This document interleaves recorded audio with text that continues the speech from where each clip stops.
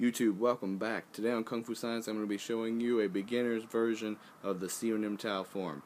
Um, the Siu Nim Tao form is the first form you learn in Wing Chun. Um, it translates to the little idea or a small thought. Some people call it that. Um, it's Siu Nim Tao or Siu Lim Tao. There's different pronunciations. Um, Siu Lim Tao, Siu Nim Tao. There's a bunch of different ones. I just call it Siu Nim Tao. Um, that was the way I learned it.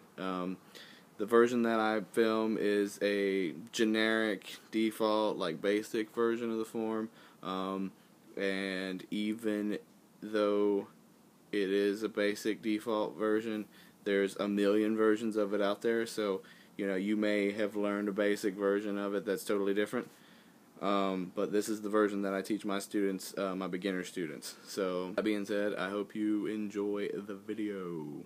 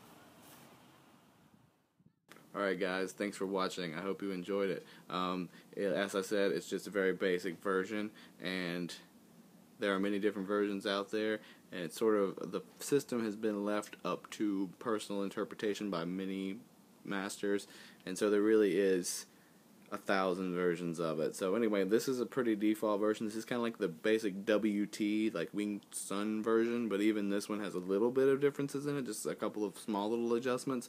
Um, if you liked the video, please like, comment, and subscribe. Until next time, thank you for watching Kung Fu Science. What's in your Kung Fu?